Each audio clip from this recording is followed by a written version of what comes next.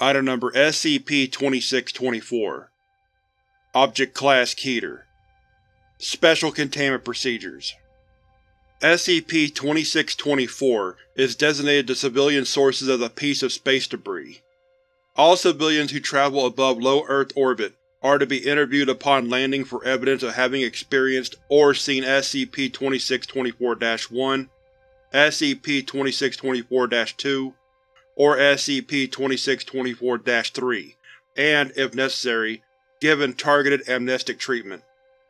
For space missions which involve the live transmission to the public of video or audio from the spacecraft, the Foundation is to, through computer-generated imagery or through recreation with actors and models on sound stages, create alternate recordings of the mission in question, to be disseminated in the case that the original mission is interfered with by SCP-2624-3.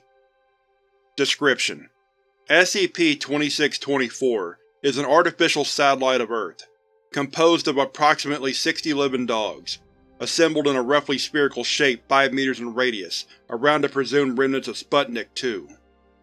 Each constituent dog appears to be an adult, mixed-breed female, visually identical to Laika, the canine test subject of Sputnik-2, and the first animal to enter orbit around the Earth. SCP-2624 was first designated shortly after the launch of Sputnik-2 by the USSR on November 3, 1957. Upon reaching orbit, the craft suffered from severe overheating issues that led to Laika's premature death. At this point, anomalous dogs began to manifest on the exterior of the probe, forming a sphere over several hours.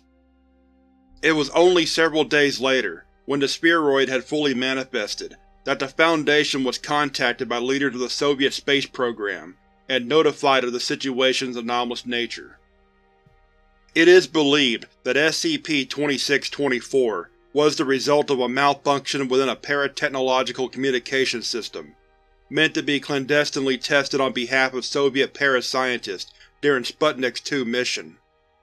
It is unclear whether the malfunction was a result of Soviet era or of sabotage by United States intelligence agencies.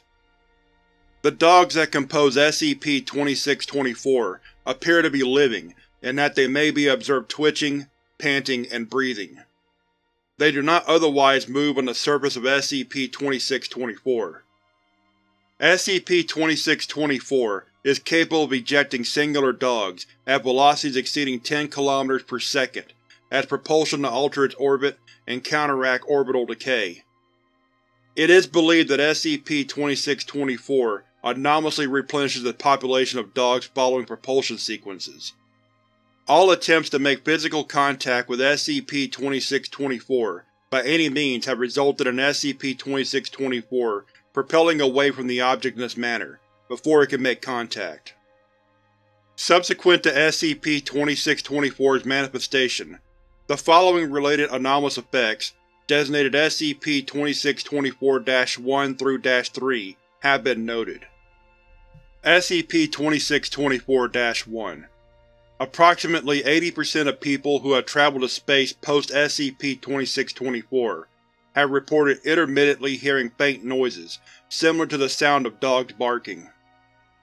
SCP-2624-2 Approximately 40% of people who have traveled to space post-SCP-2624 have reported vivid dreams in which a dog or group of dogs visually similar to Laika attempt to explain the workings of unidentified complex machinery to the dreamer. Due to the dog's lack of vocal cords or opposable thumbs, these dreams primarily consist of them destroying the machinery in question with their teeth while barking incessantly.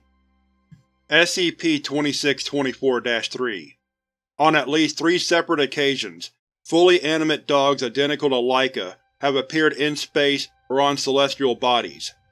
These incidents are enumerated in Addendum 2624-1 below. As such, SCP-2624 poses an increasing threat to normalcy as space travel becomes more commonplace.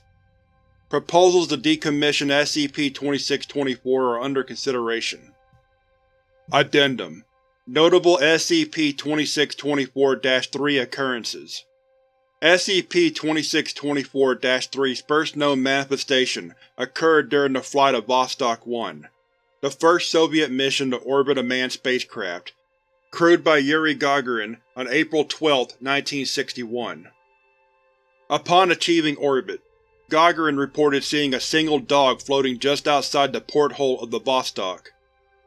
Gagarin recollected afterwards that the dog placed its paw against the porthole and tapped on it rhythmically, while peering within. This continued for several minutes before the dog floated away. A significant SCP-2624-3 manifestation occurred during the Gemini 4 mission launched by NASA on June 3, 1965. During Edward White's spacewalk, a malfunction in his handheld maneuvering unit caused him to be thrown unexpectedly around the spacecraft, impacting the ship's side and stressing the umbilical air tether connecting him to the ship.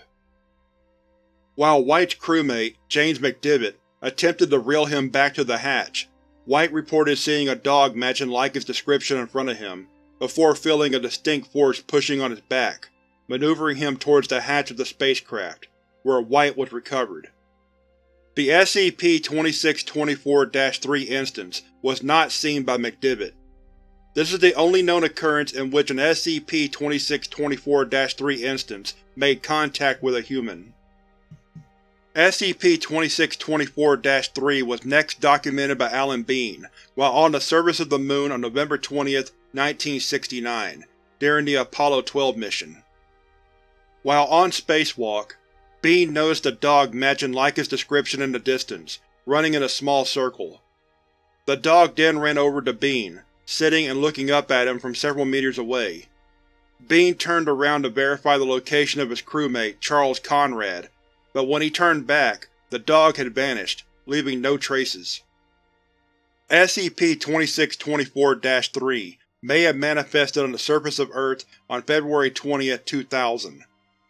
Moscow City Police reported finding a dog similar in appearance to Laika whining loudly while lying in front of the grave of Vladimir Yazdovsky, a Soviet scientist who led the Sputnik 2 program, in Donskoy Cemetery. A police officer attempted to shoo the dog away, but became surrounded by a mob of identical dogs who had come running from elsewhere in the cemetery. As they barked at the officer, each instance began to hover into the air. After several seconds, all instances vanished in a flash of white light. The incident was picked up by several local news agencies before suppression by the Foundation.